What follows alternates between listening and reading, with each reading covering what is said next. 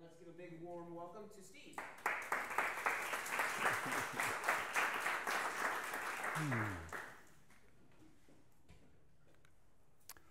What happens when the web team drifts apart? What happens when they lose sight of shared goals? Everyone optimizes their own chart. Each role maximizes their own controls.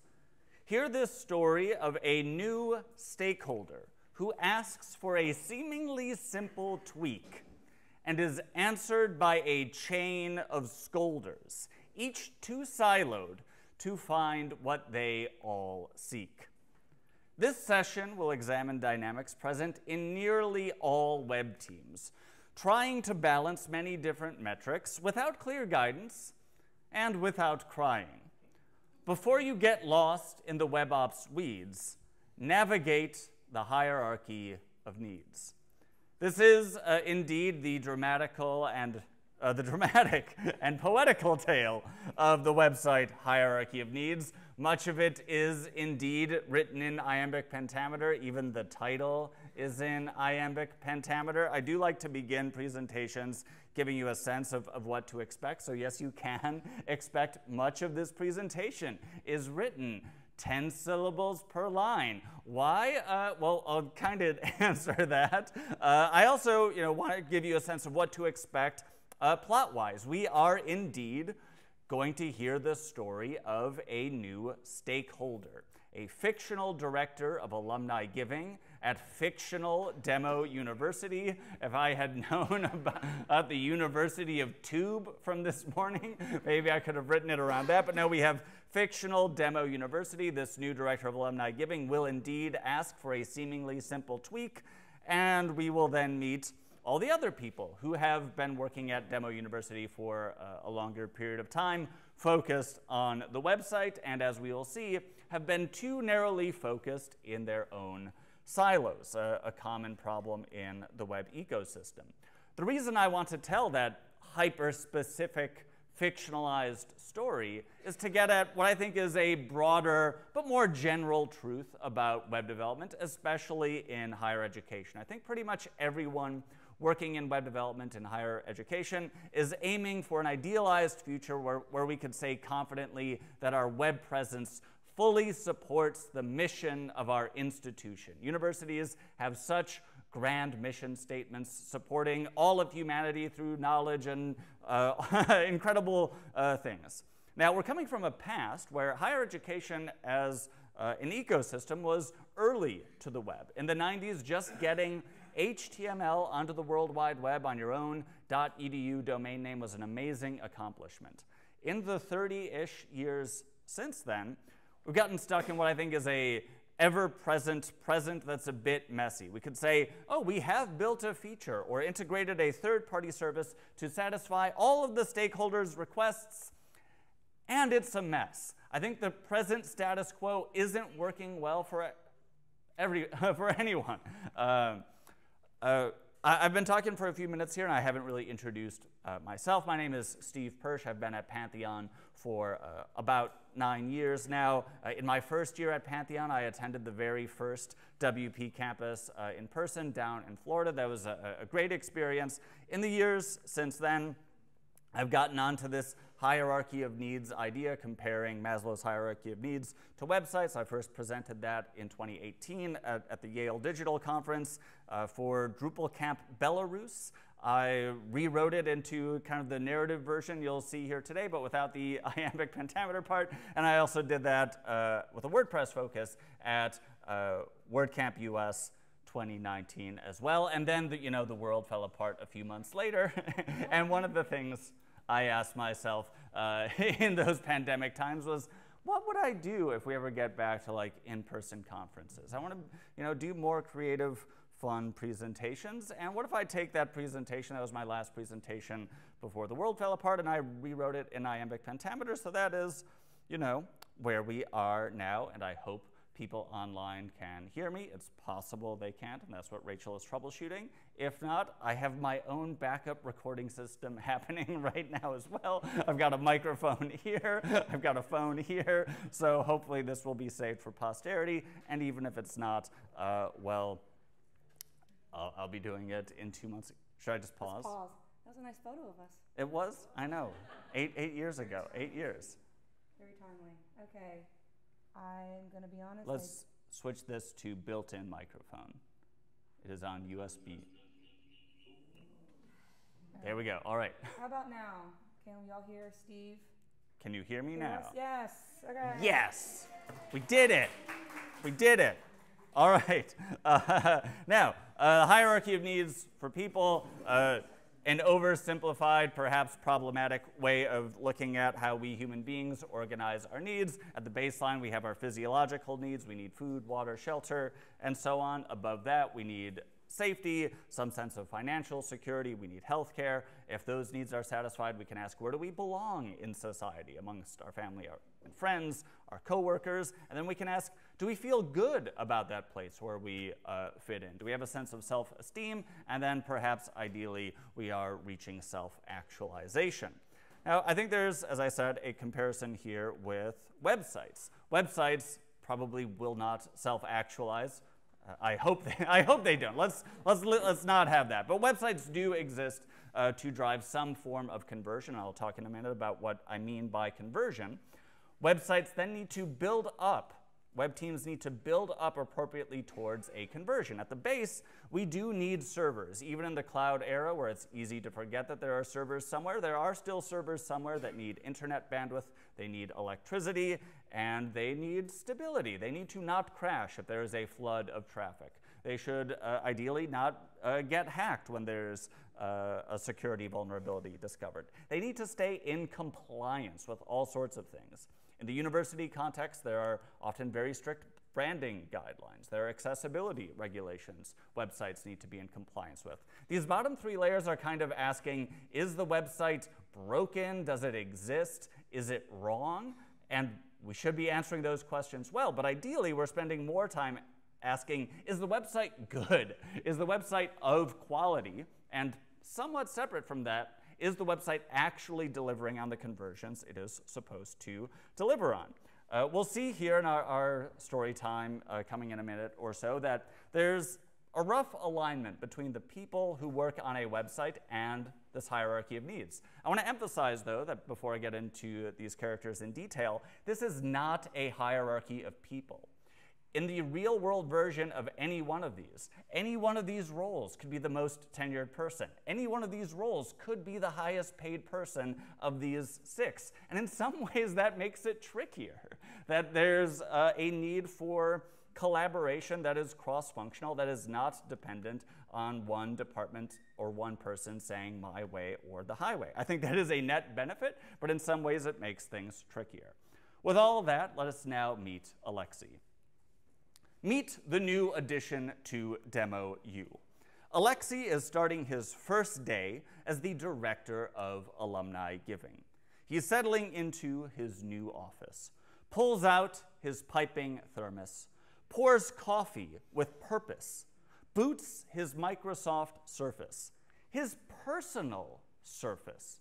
No time to wait for the surplus laptop IT purchased. Earnest Alexei loads spreadsheets certain he'll search out some surfeit spending. Surfing through Excel cells, he writes notes in cursive. He circles where the cash balance worsens. His predecessor, a careless person, couldn't raise funds, and his chances furnace. Alexei wordlessly wonders how to, one hour into a new job, work it so that he can rise with no disturbance. Maybe parties for alumni nurses? As he jots ideas on sticky notes, Demo University's president knocks on Alexei's open office door. Eager Alexei tap taps the touch screen, starting, stumbling through his explication, but he can see her attention's waning. she has no interest in the findings Alexei has spread across sheets and thoughts disjointed. She cuts him off and she says, Make a big impact with the website first. You must double alumni donations measured through Demo U's website. And soon. That's your top priority. Do that first. The president smiles forcedly and leaves. Deflated, Alexei loads the website. It seems fine, nothing noteworthy. Fine. It loads fast enough, it looks fine enough. How fast can you double from fine to good? Wait. On websites of peer institutions, giving is in every header menu. Alexei has a clear challenge for sure, but the answer seems more than simple. Just add giving to the header menu, and Alexei can tackle bigger things. Uh, now, I, I, told you we were going to meet all these characters. I didn't tell you we were going to meet the president of the university, but isn't that how it goes in these sorts of projects? There's always someone higher up that you didn't know was going to have an opinion on your work who comes in and has an opinion on your work. Now, uh, there's a prequel to this story as well. Maybe someday I'll do the, the full prequel version. The short prequel version is they finally just did the big Gutenberg relaunch. They finally got the redesigned, rebuilt website in Gutenberg out the door. They're in the block editor world, and it went mostly okay. It went about as well as such a big redesign, relaunch project can go. These projects where you take a semester or two semesters or more and you rethink all of the plugins for the new site. You question every element on every page for the new site. You ensure that the new site is going to perform well on all the devices for all the stakeholders for the new site. All the while, we sometimes fall into a linguistic trap where we start calling the current site the old site. No, no, no. As long as that site is serving traffic from your .edu, that is your current site as much as I enjoy the poetry of this presentation, there's a good chance that for one person in the room, this is the most important detail. Please do not say old site when it is actually the current site. If you fall into that trap, you can go wrong in a whole bunch of ways. And we will see some of the personal fallout, some of the uh, interpersonal fallout that comes uh, with doing a big, never ending relaunch project. So let's now meet our director of communications. Changing the header menu requires politics. He'll have to convince Sarah, the director of communications. Sarah's family dates back to the first brick affixed to Demo University's foundation. Her family probably fixed her admission and employment, so thinks everyone she meets. She fears wants to evict her from this job she actually earned by driving the clicks. Yes, she's surrounded by some intergenerational picks. There's her great grandfather's 50 yard kick to win the Grand Bowl in 19 some six.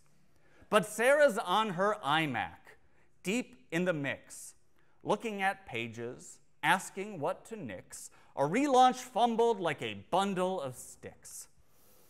Now she's thinking through SEO tricks. This job's more than Google Analytics. Emails pile up from all of her critics. They backseat drive asking dumb questions while clocks talk tick. Have you heard of TikTok? Gosh, that's where kids these days record their antics. She digs through her purse to find the Chantix. She sighs and thinks she's among relics. Then Alexei knocks, looking angelic. I just had an idea. Well, kind of. Alexei decides to just spit it out. We need to add giving to the menu, the header menu that's on every page. Sarah's impressed at the gall, the gumption to make this request his first impression? Alexei's clearly up to something, but can it be done without regression? Sarah knows that header menu space ain't cheap. If the prior alum director did his job, it'd be in that menu for keeps. But now, will it squeeze in and not break the grid? Signed in, Sarah edits the menu fast, but oh no, it does that thing where you have one line of links and add another last, and now two lines wrapped look broke in half. How can they resolve this simple, small bug? Let's see what happens and who else will meet when we crack the hood, look under the rug, and find just how deep this hole need be dug. Uh, spoiler alert, we're, go we're going to dig the hole very deep here. Uh, so the director of communications and people like the director of alumni giving should be having conversations about conversions. How can we make this job or this website do its job better? But we're getting distracted by other things, especially in the fallout of a never ending relaunch project. Uh, I want to highlight what exactly do I mean by conversion? Now, there are, there are a few different types of conversions for professional websites. Uh, let's start with lead generation in the middle. This is what Pantheon's own website exists to do primarily. If you visit pantheon.io, you'll pretty quickly figure out that, oh, meet with our sales team or sign up for a free account over in dashboard.pantheon.io. Other sites are directly monetizing through e-commerce. It is a shopping website, very direct relationship to conversions. Some websites, the content itself is next to uh, ad slots, and you're trying to maximize page views, maximize uh, ad impressions. Some websites, the website itself is the advertisement, and you want it to then be seen by as many people as possible, unique users reached. And then some websites, you want a smaller group of people visiting over and over again, and you're maximizing daily active users. The reason I like to show this slide in the context of higher education is I think this illuminates, well, why are higher education websites so darn complicated? Why do we need events like WP Campus? It's because higher education websites need at least these four, and maybe even the fifth one. Lead generation in the context of higher education, we'd probably call that like recruiting the next class of incoming freshmen. But the complexity that needs to be added to a website in order to do that effectively is similar. And you might be selling to those uh, potentially incoming freshmen football tickets, sweatshirts, and any other uh, number of things through e-commerce. Uh, you might be trying to impress those high schoolers with the amazing cutting edge research done by your institution. And in fact, you want the whole world to know about the amazing cutting edge research done at your institution. You want to maximize unique users reached. Oh, and once people do become students, they enroll, then there may be online learning portals and you need to bring them back over and over again. So you got to maximize daily active users. And although higher education websites probably aren't going to have those sketchy like Taboola ads uh, intermixed in your content, the status quo higher education homepage still functions as like a series of advertising slots in a slider. So even if you're not monetizing ad impressions, you might be taking on all of the complexity of all five broad types of conversions. That is part of why higher education websites are so darn complicated, and it is part of why communication can break down as we move and meet more people here. Ideally, someone in a director of communications type of role would have some space in their brain and their day for thinking about conversions, and they'd also have time and space to think about like okay but how does the website actually function? Because now we'll meet the people who are more directly concerned with like how does the website really function? At a coffee shop just south of sarah we find eduardo the senior designer softly sipping espresso taking pause the caffeine hits, and his mind slowly thaws. Feeling raw from endless tweaks and tickets that gnawed at his soul, yet weren't his to fix. Pre dawn phone buzzes of screenshotted bugs talked over in meetings like he lost his lungs. In the weeks since the relaunch, he's had to relearn how and when to relax his jaw. He nearly fell into Gutenberg's maw. As the relaunch spun wildly, pitch and yaw, Eduardo has a new self imposed law. draw first. No phone, no screens. First, he must draw. Every morning, he brawls with blocks again. But he's in charge when it's paper and pen. When he's done, he'll show WordPress who's the boss. He'll win the next round, no matter the cost. Then in walks Sarah, relieved to find Ed. His teeth grind and his stomach turns in dread. Sarah relays the menu thingy, and it's clear she wants a quick guarantee that Ed will design a nice fix shortly. But Ed thinks, This is how you come to me? Our first convo in the relaunch debris urgent requests from unfit appointees. Ed is fed up with these petty bourgeois bourgeoisie. He has no advanced degree, but he's got more guts than these PhDs with names on the marquee who love to quote Trotsky while they're brown nosing a trustee. How can I prove that they can just trust me? Is what he thinks, and again leaves unsaid. He grabs his laptop resenting the screen. Sarah hovers. Ed glares. Pull up a chair. Ed taps the tab key. You want more links there? Wait. Tap, tap. Tap, tab. The focus is stuck. Here we go. This right here is just our luck. Ed says, I don't know all the legalese. Let me think before you interrupt me. We can't slide on accessibility, says Sarah, fearing lawsuit inquiries. Yeah, I know, says Ed, now the assignee of problems bigger than menu entries. I heard a few knowing laughs in, in the back of the room. Uh, is, this, is, this, feeling uh, a bit real? Is some of this? Uh, all right, head nods. Great. So, uh, so why is there so much friction here between people who should be focused on is our website good? That's what they should be having a conversation about. So the director of communications can then work with others to make sure it's actually uh, converting. Yesterday, I walked over to the Smithsonian. I, I uh, came in a day early because I wanted to get this selfie. It's the 50th anniversary of Zen and the Art of Motorcycle Maintenance, a book that is not much about Zen and not much about motorcycle maintenance. It is, it is more about a man uh, recovering from having lost his mind, trying to define the word quality. The basic idea in this book is that there's an unnecessary divide between the rational, mechanical, analytical sort of view, the mechanics view of the motorcycle, and the, the book calls it the romantic point of view, the person who may just be riding a motorcycle and not really aware at all of how the motorcycle works. This book posits, oh, we need to unify those two things in order to, to get a clear picture of quality. Whether or not you buy into that premise, it gets more and more difficult if even on like the mechanical side, we're further and further subdividing. And in the web development world, the last decade or so has been near endless subdivision and subdivision and subdivision. It'd be like if you don't have a motorcycle mechanic, you have a mechanic only for the front wheel, and someone else who only works on the back wheel, and someone who only works on the engine. They're going to have a hard time answering, but is this motorcycle good? Is this motorcycle quality if the motorcycle is so complex that they don't have time to think of anything beyond the front wheel?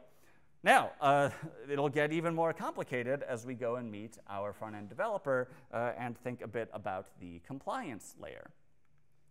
Meet Eleanor, the front end specialist, well equipped with her MacBook Air lifted high above a standard standing desk, with monitors splitting JavaScript snippets stacked, overflowing, VS Code going, NPM installed, Webpack is showing. She was right all along. Gutenberg gone. Now it's clear to her where things went all wrong. Retreated now, she feels less defeated. She's in her happy place with no WordPress, just the components, isolated, clean. Now she can make sense of what it all means. As her fingers dance together upon the cherry switches, she quickly catches Ed's eye as he rounds cubicle corners. He sent no slacks. Why invade her quarters? She takes off her pink AirPod Max headphones, pausing playback of Dancing on My Own. She quickly complains, I was in the zone. Ed relays the problems. Now they're not alone. Eleanor closes Storybook and signs into WordPress and sees a sign of hope. The plugin supplying the header has an accessibility update. Yay! Ed says, wonderful, so we're good here, right? Eleanor says, I'm sorry, uh, maybe, nope.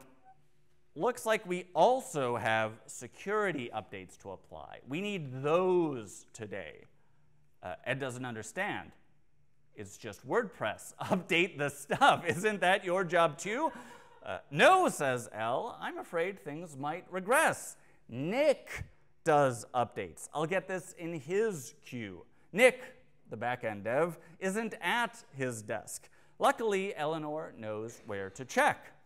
The problems with this site keep on stacking links, headers, lawsuits, and now risks of hacking. We're, we're struggling with compliance here. Uh, uh, jumping back mentally to that previous interlude, compliance is best thought about holistically. Yes, there are individual elements to the website, but a compliance officer probably wants to know is the website holistically, all of it, is it secure? Is the website, all of it, is it accessible? Because if not, that's a problem. That's hard, that's a hard conversation to have though, if we ask the front-end developer, is the website secure? Eleanor might be able to say, well, I'm the front-end developer.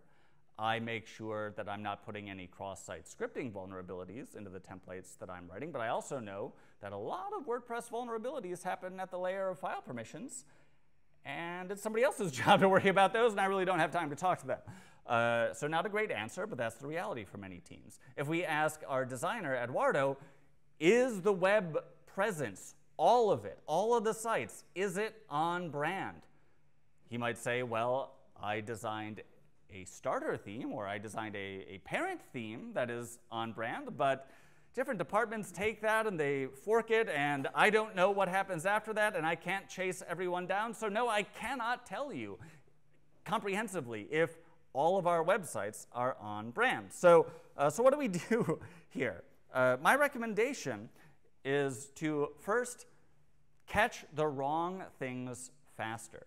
WordPress as a community, one of the things I love about WordPress is that it has very detailed, very prescripting coding standards for things like do you put spaces between the square brackets? Uh, uh, the correct answer is no, you don't if the thing inside is a string, and yes, you do if the thing inside uh, is a variable. Now, I would have a hard time keeping track of that just in my brain, but there are automated tools that check this stuff in milliseconds so darn fast. So I would highly recommend if you're writing your own custom WordPress code and you want to be in compliance with WordPress coding standards, automate the checking of that because a computer can check these rules so much faster and more accurately than a person can.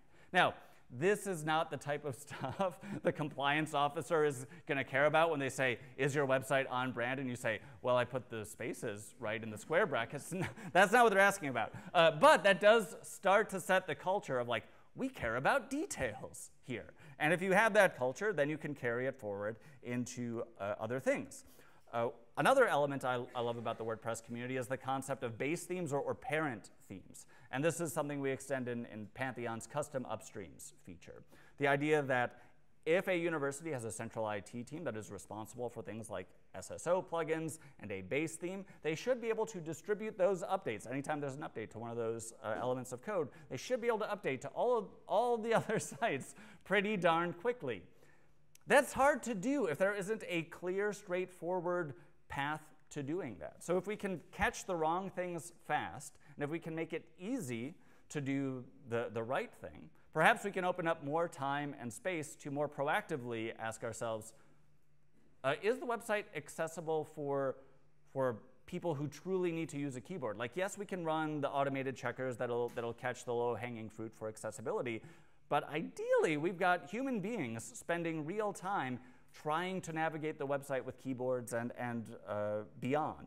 And if you don't have time and space for that because you're spending all of your time just trying to get updates to the base theme uh, or the parent theme all the way out to all the sites, uh, you're going to have a bad time when it comes to compliance. And oh boy, let's now get to stability. Alone under the old library's crest, Nicholas made a temporary nest.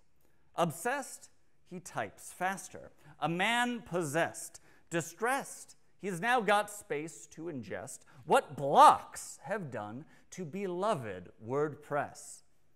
One week removed from the relaunch, egressed from his soul to the live domain addressed, Nicholas now has time to learn, digest.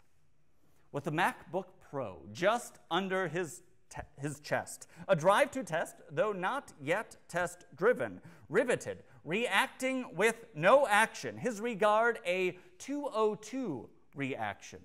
As React wrestles requests requestioned, JSON responds with fast satisfaction. Just tests return green, exit code zero. This hero of WordPress rests. Yes, he rests. At this sunny summer hour, Nick feels blessed. Early morning shadows shrink in the west the library's silence is then recessed as rubber shoes clap an important quest. Eleanor whisper shouts, Plugin updates? Three unapplied security updates? Nick waits. Don't take the bait. As if he did not know this was already on his plate. Did you read the details, Eleanor? Did you see the attack vectors do not apply to our site at all before you came and wrecked my perfect, quiet morning? Eleanor can't believe it. The hubris! Just apply the darn updates, Nicholas! Nick Whisper shouts back with growing fervor. First, I need a working staging server. The updates apply fine on my machine, but I won't shortcut deployment hygiene. Excuses, excuses, thinks Eleanor. As she says, Well, I'll tweak markup some more. This story began with a missing link. Now we find the whole web team out of sync. There's a lot going on here that is pushing this team out of sync. I think one of the, the biggest pressures that is pushing web teams out of sync with one another is we have different pictures in our head. What does it mean to have a stable website? And how do we configure the servers below and our release processes to make a stable website? If you ask AWS, Uh, I'm not expecting anyone to internalize this diagram. This diagram is here to overwhelm you.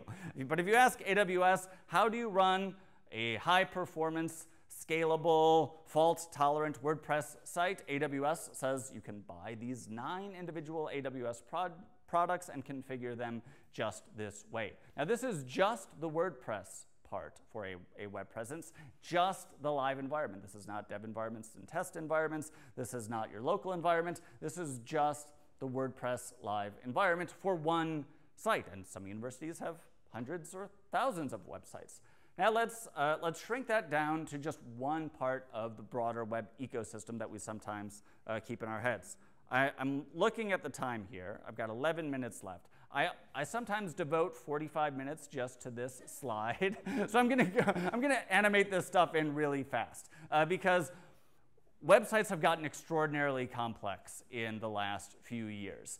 Uh, I pin a lot of it to the release of the iPhone in 2007 and the iPad in 2010.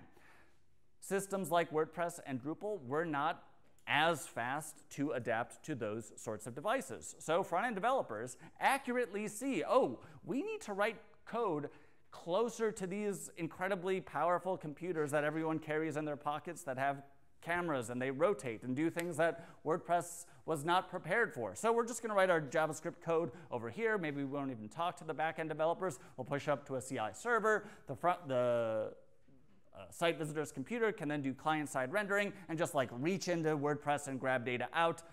That works to some extent. It makes things insecure. It can make things slow, so you add a CDN to hopefully make things more secure and faster, but still it can be problematic. What did we do with the WPCampus site in uh, 2020? I worked with, uh, with Rachel to do this way of doing a site where you send the data from WordPress to a CI server, and it gets incredibly complex, and now people are saying, no, let's just put a Node.js server in the middle, and again, uh, this is too darn complex for most web teams to think about on a day-by-day -day basis. No wonder uh, it feels like things are crumbling all the way down to that server layer when we uh, don't have agreement on what is the ideal server infrastructure for running a stable website. Kels didn't race in the Gutenberg Dash. She was too busy, a one-woman stash of interdependent code written in Bash. When anything breaks, she answers, not crass, calmly asks, have you tried clearing the cache? Teeming masses, many massive demands, yet still no team for this center of mass. Understaffed since Y2K didn't crash. Kelsey sighs and sips her tea, Earl Grey, hot, out of her own class of 99 mug. She's seen the decades since go in a flash. Flash. Just another trendy fad dispatched. She and janitor Jane empty trashes. Kelsey RMs some once applied patches, while Jane collects commencement gown sashes, swept up and then tossed out with the ashes. The tea splashes and the moment passes. On her desk, a new ThinkPad dashingly sits atop a steely sticker brashly reading simply, This machine kills fascists. Her worries of rainbow table hashes and interdepartmental clashes fly from her head when Nicholas smashes doors shouting, The staging server crashes. Kelsey doesn't look up. She plainly says, I know. Do you know why? Nick asks and huffs. No, I don't. I'll get to that when I'm done setting up this laptop and other stuff that I'll be bringing to Alexei, the new director of alumni giving. Kelsey weighs how much time to spend helping new hires who might not last a semester against the pressure to unblock updates for web devs who do know how to pester. Hmm. Hmm. Alexei can take it from here. Hey, my name's Kelsey. Here's your new laptop. Alexei looks up from crumpled post-it notes. Let me know if you need anything else, says Kels, as she's already turned to leave. Can you help me make a website? Says Alexei. Kelsey has heard this type of question before. So, to avoid taking work she'll abhor, her answer should be bright and sound helpful.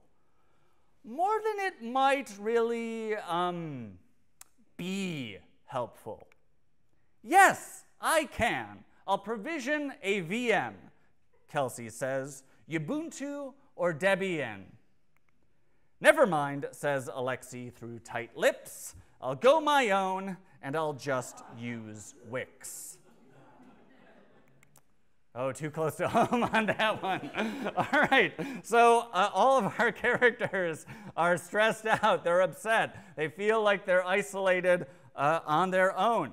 Uh, I think this is a common experience among university web teams. Uh, I think uh, Paul in, the, in the previous session said something like it, like, oh yeah, in higher education, IT, and, and web development, you're always getting more responsibilities, and you never get more time or staff or budget. And he's given me the five minutes. Thanks there, Paul. Uh, so my recommendation, my broad recommendation for what to do in these sorts of situations is pick tools pick processes, and find coworkers who are on board with the idea that we should be minimizing the toiling kind of work, that we should identify the kind of work that takes up too much time but is not all that valuable. And I mean, that's kind of the basic idea of WordPress. Uh, I imagine much, many of us in the room have written our own CMS and then realized, oh, I should not be writing my own CMS. And then, oh, WordPress is just a good version of that. Let's go with WordPress.